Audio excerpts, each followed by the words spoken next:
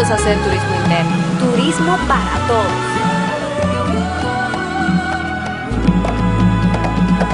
Ministerio de Turismo.